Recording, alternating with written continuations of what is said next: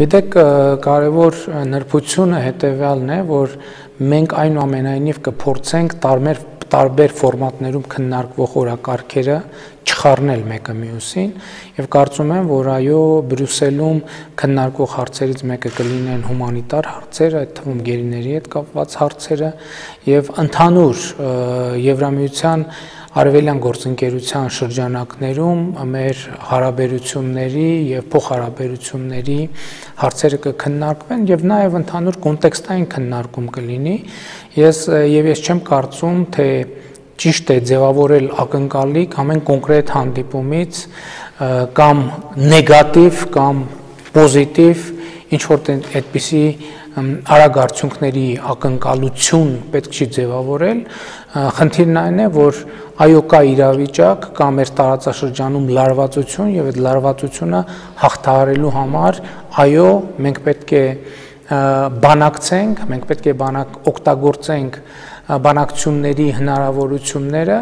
բայց ելի եմ ասում շատ կարեւոր է որ Հայաստանի ներսում հատկապես եւ դրսում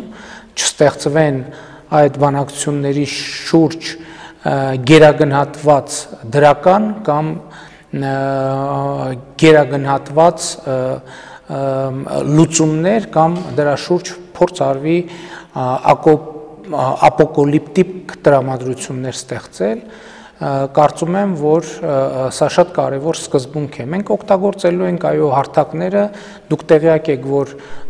այս շաբաթ նոյեմբերի 26-ին նաև Ռուսաստանի նախագահի միջնորդությամբ Սոչիում է տեղի ունենալու հանդիպում, եւ այդ հանդիպումն էլ իմիջայլոց այսօր հայտարարվում է, բայց այդ հանդիպման շուրջ խոսակցությունները 3 չեն սկսվել։ Դրանք ավելի վաղ սկսված խոսակցություններ են եւ ես կարծում եմ, որ այսպիսի հանդիպումների պայմանավորվածությունների մասին լուրերը պետքա դրական արձագանք գտնեն մանավանդ որ ես կարող եմ ասել որ տեսեք նույն Եվրամիության խորհրդի նախագահի հետ այս հերախոսազրույցների ընթացքում զուգահեռ